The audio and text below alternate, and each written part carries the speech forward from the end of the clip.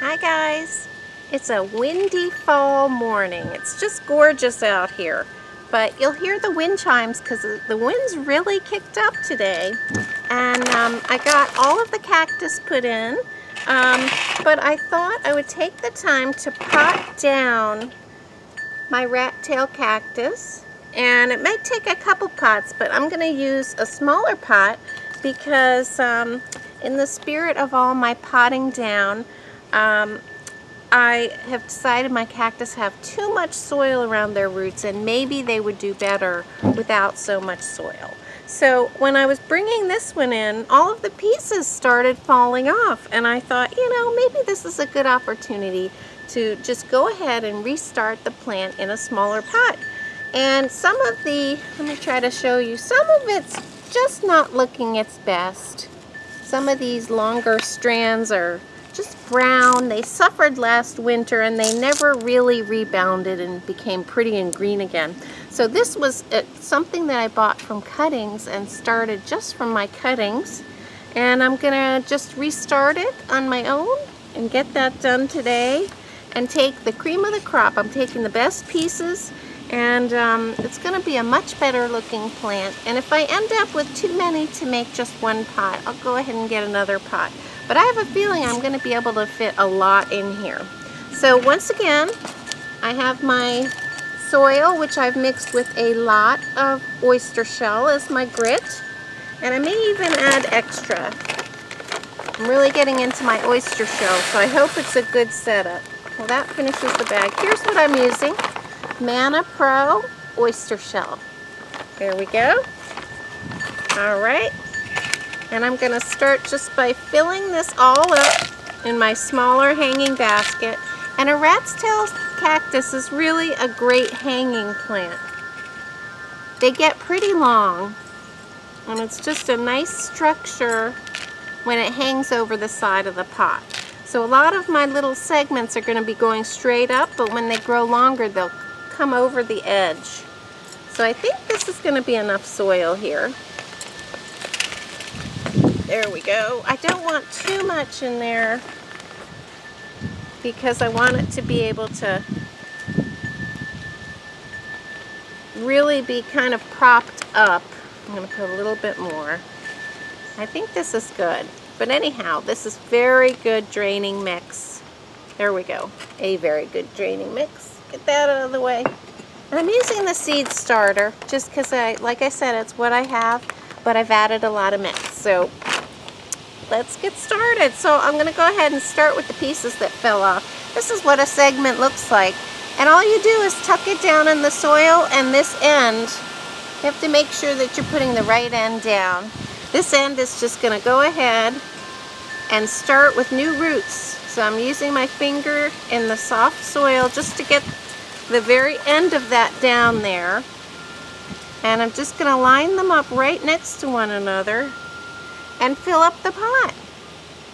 And I will have probably, I don't know if it'll send down roots over the winter, but, um, and you just break them off. They just fall off actually because they're, it's probably dehydrated, but they fall right off and you tuck them in and this will be a good good way to restart the plant. You just twist and they come right off. It's dry dirt, so I'm not worried about the ends healing over. It's just dry dirt. If you're concerned about that, I'm putting them about an inch down, not too far. Um, if you're concerned about the ends drying, you could always make your segments a day ahead of time. But I'm not because I know that I'm not going to water this. It's just going down into that dry soil. And I may water it once or twice this fall, but that's it. It's going to be dry most of the winter. And that's fine because these little segments are holding some water. So let me just keep twisting these segments off. Some of them are just falling right out off without even a twist, which is why it just it's just telling me that the base of the plant is not a healthy plant. So here we go. I'm just going around the edges, tucking that underneath the soil. I may add a little bit more soil in the when I go all the way around. And it's going to look a little funny, you know, when it's first set up, but let me just twist. I'm doing a gentle twist and they break off right in sections. This one um, suffered from mealy bugs last winter, which is another reason why I really only want to take the healthiest parts in. I'm putting the long ones around the edges. I'll put the shorter ones in the middle.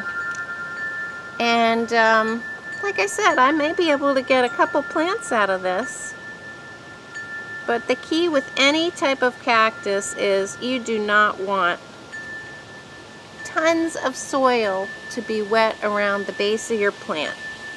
The roots. They just, they like to take a drink and then dry out immediately. You could even cut it here, but see this one is so almost grayish. It's just not healthy. So I'm taking the cream of the crop, like I said, and I'll fill this whole thing. It'll be wall-to-wall -wall little sections coming out.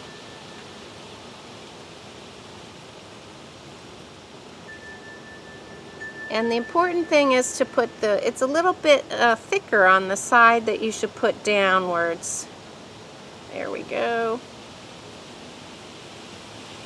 And this soil is probably two years old, three years old, so it is time for some fresh soil on, on this plant. Let me know down below if you have uh, this type of cactus, the rat tail cactus. It's a fun one. People always like to see this one. Okay. Let me look on this side and find some others. And sometimes your plants just, if you want to keep them looking nice and keep them healthy, you know, it's kind of stressful for them to come in and change environments and come in for winter and go into dormancy. So you want them to be at their healthiest when this happens. Which is why I took the opportunity to restart some of these plants just to give them that head start, the ones that were not looking so great. And let's see, I just saw a couple big ones here. Oh, here's a big one. I love, I want to put these at the very edge. And the soil is so soft here that it really should root right up. Uh, whether it happens now or in the spring really doesn't matter. It's got a lot of, it's holding a lot of water. So there's no reason to worry about its lack of roots right now because a cactus can just fall in the middle of the desert and start rooting it. They're really quite remarkable. The other thing is, is you can look at each section. You just you know, put your eyeballs on each section and you can know that you're not putting any pests into this restart. So it sort of guarantees that you're going to have a healthy plant down in your uh, plant room. There we go. Let me know what you guys are doing to get ready for winter. If you take your plants out in the summer, spring and summer like me, you're probably in this situation where you're making sure all your plants that go back in are healthy. I think we're done. So guys, look at that. I have a smaller plant for my space. It's all gonna be healthy. Oh, this one got put in upside down. Almost made a mistake there. But we can take that one out. Put this little guy in. All right. So thanks for listening to me babble. But look, doesn't that look adorable? It's all tucked in there neatly.